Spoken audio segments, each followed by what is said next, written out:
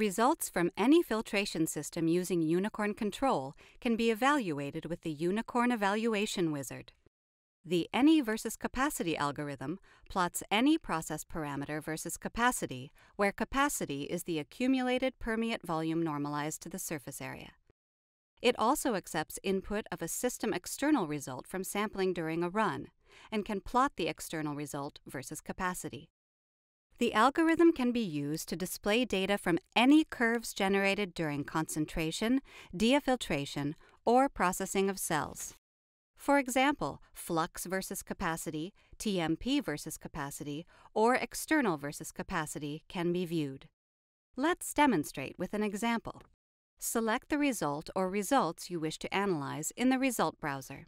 Click Open if single result is selected, or click Compare to compare the selected results. In this case, Open was clicked to select a single result. Click Filtration Analysis to start the analysis.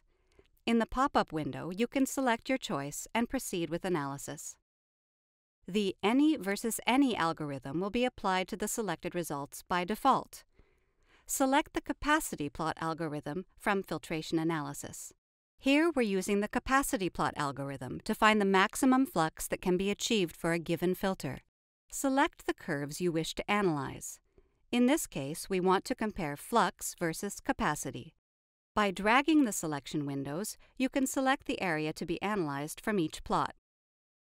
Analyzed data from the selected area in each plot can be viewed in the Result view in expanded mode. And for a more detailed view of the data, zoom in. If you wish to share your results, it's easy. Just copy and paste your results into your application.